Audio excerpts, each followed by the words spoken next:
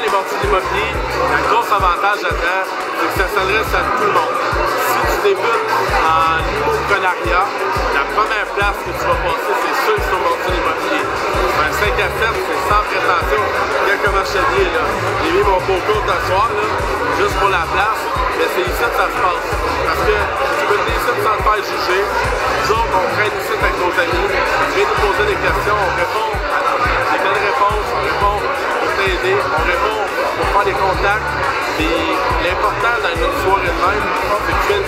L'ouverture d'esprit, de vouloir apprendre, de vouloir rencontrer des gens.